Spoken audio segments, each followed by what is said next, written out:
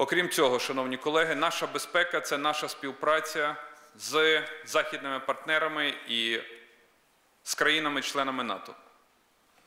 Сьогодні уряд схвалить і подасть на розгляд президенту України річну цільову програму співпраці між Україною і НАТО. Ми вбачаємо низку новел в нашій посиленій співпраці з Альянсом. П'ять основних блоків, які будуть виконуватися в рамках співпраці між Україною і НАТО. Перше це модернізація систем зв'язку і обміну інформації для Збройних сил України. Українські Збройні сили повинні відповідати стандартам країн-членів НАТО, логістика і система зв'язку. Це той обсяг робіт, який повинен виконуватися нашими Збройними силами, Міністерством оборони по програмі співпраці з НАТО і НАТО відкрило спеціальний трастовий фонд, який фінансується країнами-членами НАТО для модернізації Збройних сил країни. Другий блок це перепідготовка і соціальна адаптація військовослужбовців. Третій блок.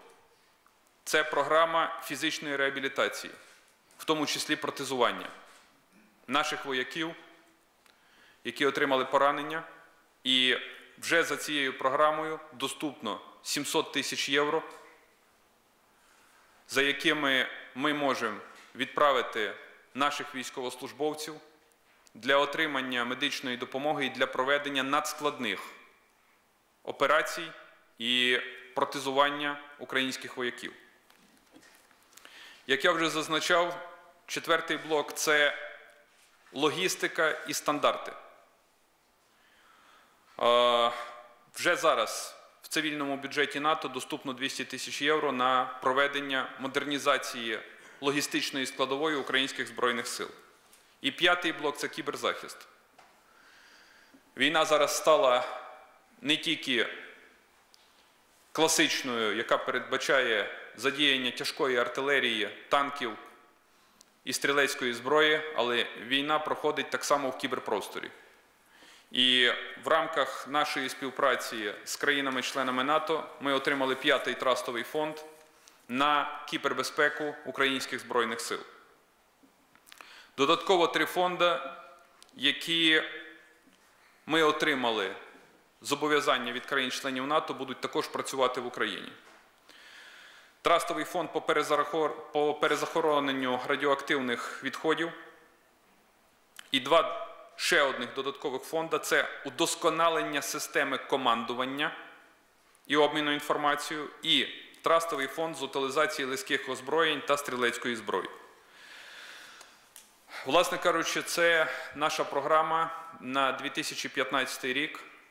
І повторюсь ще раз: наша безпека і гарантія виконання мінських домовленостей лежить в площині обороноздатності держави.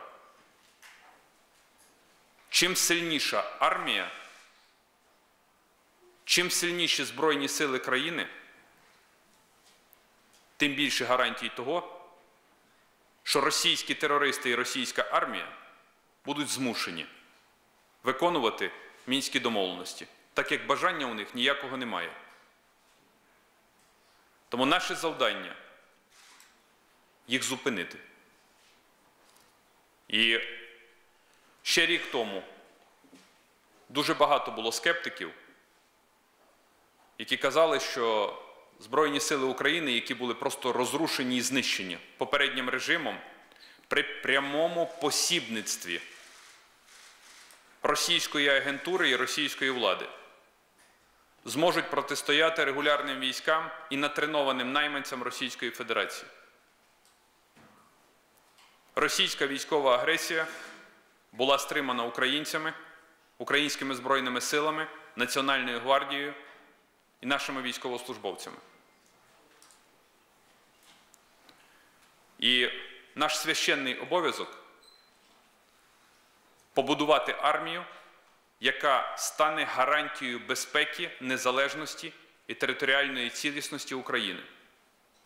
Побудувати кордон, через який не будуть провозити зброю, розвідувально-диверсійні групи, незаконних мігрантів, побудувати лінію безпеки, яка вже сьогодні функціонує, і не дасть можливість російським терористам просочуватися на території інших областей.